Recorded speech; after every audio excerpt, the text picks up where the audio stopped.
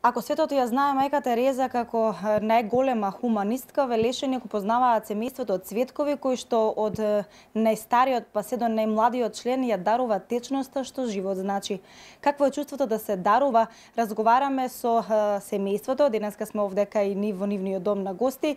Разговараме со човекот, односно во ова семејство најстариот кој што 111 пати дарувал течност што живот значи. Господине Кире, 111 пати имате дарувано крв, какво е чувството да се дарува и да се спаси човечки живот?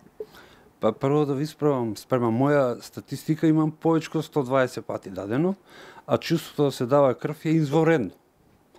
А, од тоа чувство што го имам ја, од здравствени причини, од секакви причини, ги натерав и моите деца да даваат крв.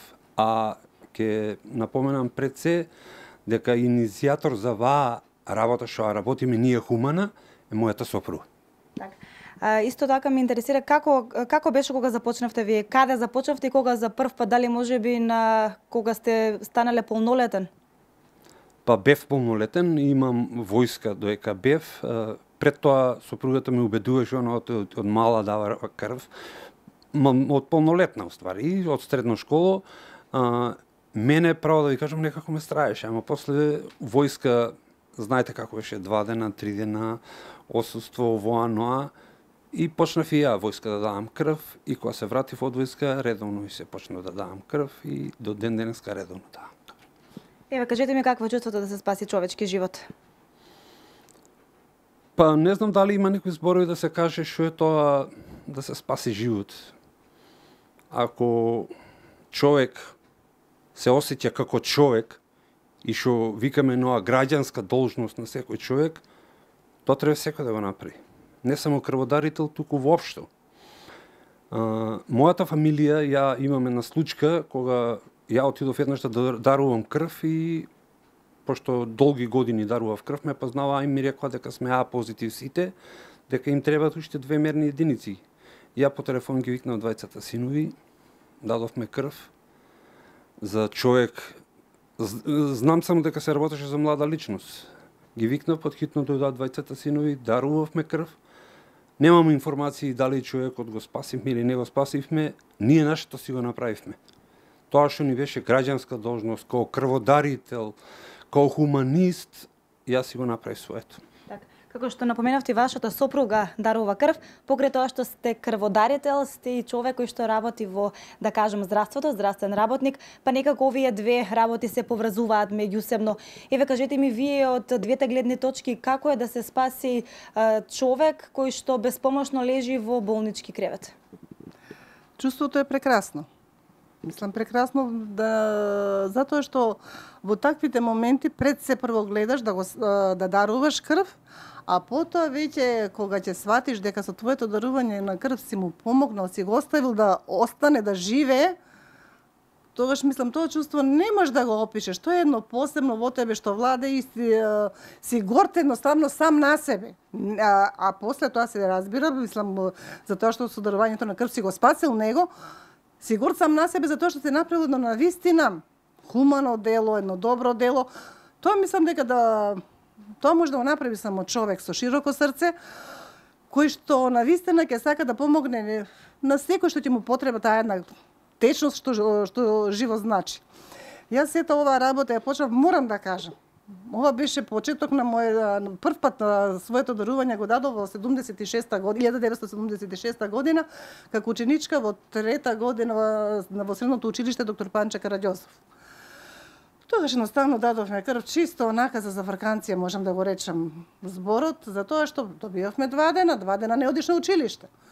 Тоа го продолжив во четврта година и тогаш дадов крв и меѓутоа после тоа некако ми да не да речам онака граѓански ми навлезе чивијата едноставно се навикнуваш на тоа тоа ти како дрога и сакаш едноставно да се испразниш од таа вишок на течност затоа што не значи дека кога даруваш крв дека ќе останеш без крв ли, не знам нешто ќе ти се случи. Напротив, таа за многу краток период се обновува и едноставно продолжуваш понатаму со секојдневниот живот. А, продолжував и понатаму и понатаму дава дарував крв и имам свој досега 70 кусур пати дадено крв и се гордеам со самата себе си. А, ова должност должност да речем, моја беше да продолжат понатаму и нашите деца. Токму така, овде во присуство денеска со нас е и вашиот син, кој што исто така по стапките ваши почнал е тој да дарува, секако и неговиот брат кој што во моментов не е дома. Еве, кажи ми како започна ти да даруваш крв, нели, покрај твоите родители и еве, како ти размислуваш и што размислуваш во моментот кога лежиш и кога а, гледаш како твојата крв минува низ оние цевчиња кои што подоцна се транспортираат и помагаат некому.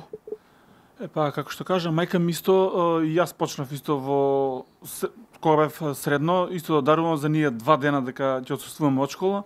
Тоа беше прв пат, мислам, трета година, па после тоа и четврта, па продолжиме после исто отидов во војска и таму исто ни ги оправдуваа по два дена и сето тоа продолжи се понатаму и понатаму да продолжам да давам, а чувството за за да се дава крв е прв пат кога во трансфузија, ќе кажам, ние слики што ги видов, ние текстови што се напишани на дидовите што стојат, дека спасуваш човечки живот, дека таа крв му е потребна на некој без разлика што е за добро, за од моја страна е за добро, на некому е потребно стварно и преубаво. Преубаво е тоа чувство дека ќе го спасиш животот на некој друг. Сакам и исто така да им напомнам на гледачите дека треба да продолжат и треба да бидат исто така хумани, да да видат како нашето семејство, да видат како е чувството,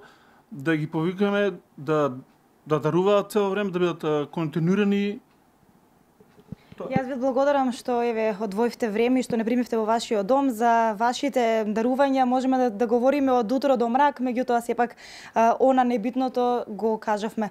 Uh, уште еднаш благодарам што не примивте во вашиот дом. Ви благодарам и вас, ви и благодарам на Кајден телевизија и пред се стварно сум горда што денес дојдовте во нашиот дом за тоа што утре се навршува 106 години од раѓањето, односно годинава е 106 години од раѓањето на мајка Тереза, која што утре а, папата ја прогласува за светица. Ова е нешто неверојатно. Таа беше голем хуманиста, продолжуваме ние колку што можеме и не е само само уште ова да ви го кажам дека нашата хуманост не завршува само со дорвањето на крв. А често пати се случува имаме познаници, познаници велам, кои што немаат пари кои што немаат облека. Ние таа облека за сметка на тоа можеби некој од граѓаните ја носат во црвениот крст. Меѓутоа ние немаме можности на пример да се носи, а самите знаеме и самите ги прешу ги, ги прешуваме пред ако им треба, ја носиме таа облека, им ја даваме без разлика не само облеката би реков во било која дали се работи за пари, дали се работи нешто во работи кои што ние ги користиме, ние им ги даваме нив така да колку што можеме ние помагаме.